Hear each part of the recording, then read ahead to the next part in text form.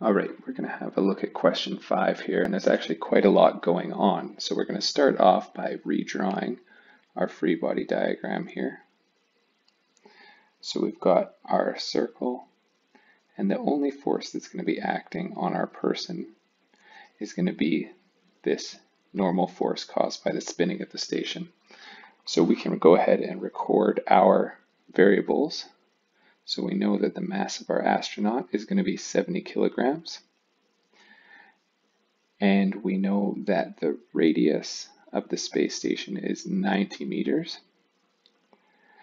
And the other thing that we know is that the astronaut's weight on Earth is going to be equal to their mass, 70 kilograms, times gravity, which is 9.8 meters per second squared.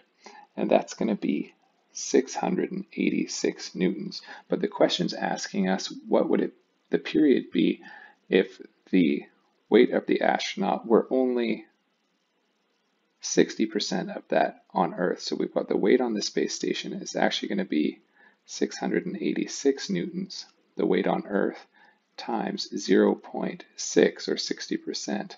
And that's going to give us 411.6 newtons. So knowing that, we can go ahead and use our equation.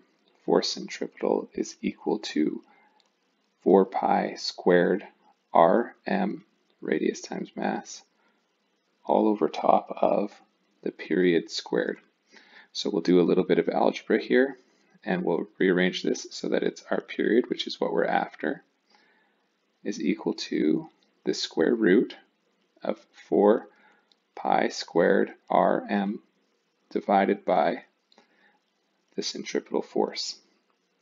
Okay, so now we can actually just go ahead and plug in our values. And actually we can even make this better by saying that our force centripetal we know is equal to our force normal.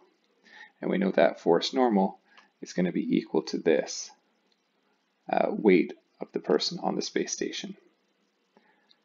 So we'll plug in our values and we'll say that we've got 4 pi squared times the times the radius, which is 90 meters,